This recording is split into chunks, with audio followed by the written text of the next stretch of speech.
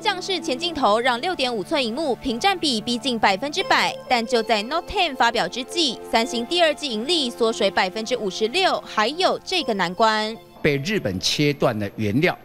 三星的整个机体、电视，还有手机这几个部分没有办法出货。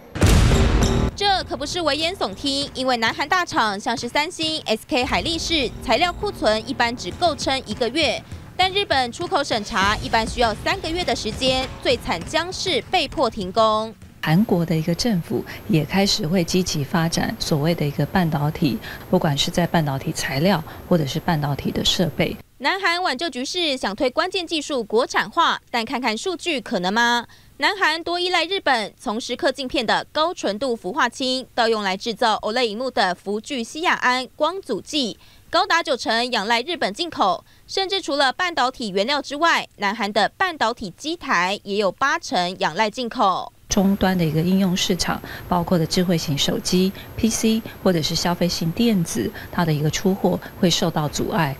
日韩厮杀倒是经济部很乐观，看好有转单潮，像南亚科、华邦电、旺宏都有望渔翁得利。台湾的机体非常多，都是呢美光的供应链，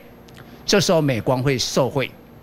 那受惠之后连带的会带动台湾的这些机体。然而，情况是一体两面。业界忧心，若缺乏南韩记忆体与面板支援，恐怕让新 iPhone 量产不顺，拖累红海、和硕等组装厂。五日，红海股价涨百分之零点六四，收七十八点二元；和硕则是涨百分之零点七三，来到五十五点一元。东森财经新闻刘志章播祥台北采访报道。